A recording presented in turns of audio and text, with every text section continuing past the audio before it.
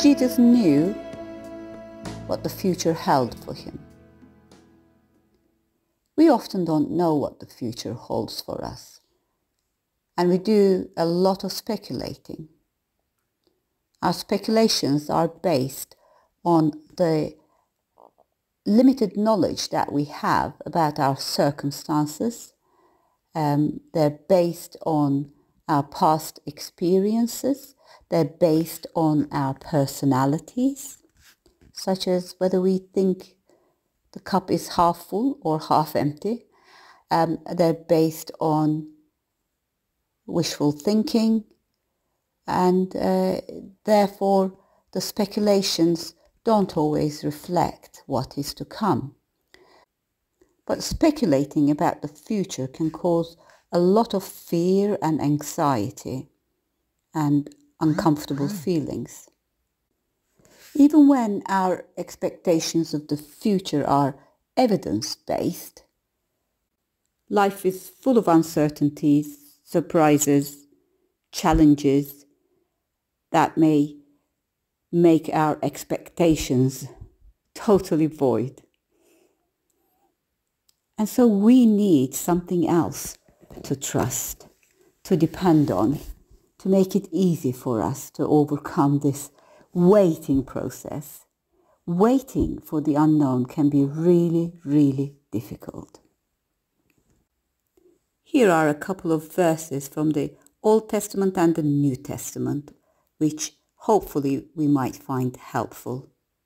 Deuteronomy 31, verse 8 says, It is the Lord who goes before you. He will be with you. He will not leave you or forsake you. Do not fear or be dismayed. And from the New Testament, Philippians 4, verse 7 says, And peace of God, which surpasses all understanding, will guard your hearts and your minds in Christ Jesus. The peace of God, which surpasses all understanding, will guard your hearts and minds in Christ Jesus. However difficult it may be for us to wait, whether for a medical result or a financial situation or a relational uh, outcome or an exam result or a job offer, we need to know that God stands with us all the time and he is the one who's able to give us peace at all times. He will at all times go before us. He will be with us. He will not leave us nor forsake us. And he will always give us peace. With that in mind, let's pray and bring our situations before God. Father God, we thank you that you are the giver of peace.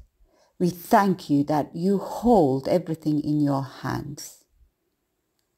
And sometimes anxiety takes over us and we don't know what the future holds. Thinking about situations that unfold before our eyes, we struggle. And we pray that your presence might be so with us, so tangibly reaching out to us enveloping us. Your love might be so evident in our hearts and in our lives. Your peace might be evident in our minds. That we would know that it is you who is giving us the strength to carry on.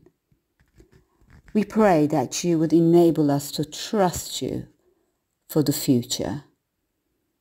We pray that we would know the mighty hand of our Father holding our hands and leading us on green pastures. Father, as we sit in your presence, we ask for your peace. In Jesus' name. 阿门。